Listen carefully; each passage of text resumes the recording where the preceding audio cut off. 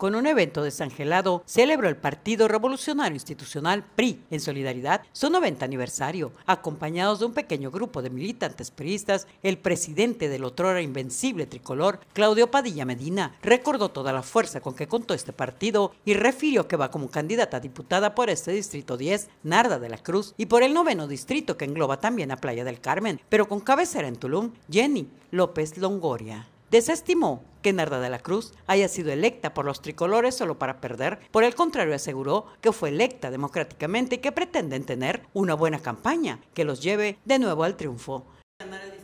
Pues claro, imagínate si no vamos a hacer una buena campaña.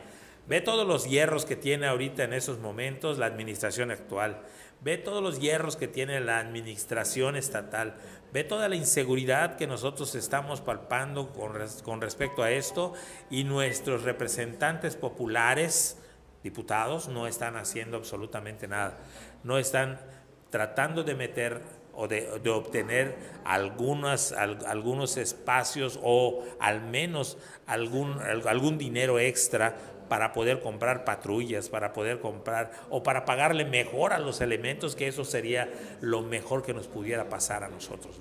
Palabras más, palabras menos. Claudio Padilla, presidente del PRI, en solidaridad sostiene que ante la pérdida del poder de su partido, el PBN, que siempre fue una rémora, ahora es un parásito, pero moreno. Es un parásito y entonces tiene que ir para allá, ¿no? O sea, está buscando, insisto, vean ustedes, esto es muy sencillo cuando tuvimos el poder, las rémoras estaban alrededor nuestro y esas rémoras estaban beneficiándose de el poder.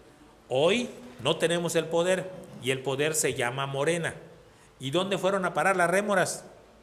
A Morena. A Morena, claro. Entonces, eso es lo que, nosotros competimos solos. No hay ninguna coalición. Ninguna coalición. No ha llegado ninguna rémora ahora. Desde Playa del Carmen para Notivisión, Lourdes Mata.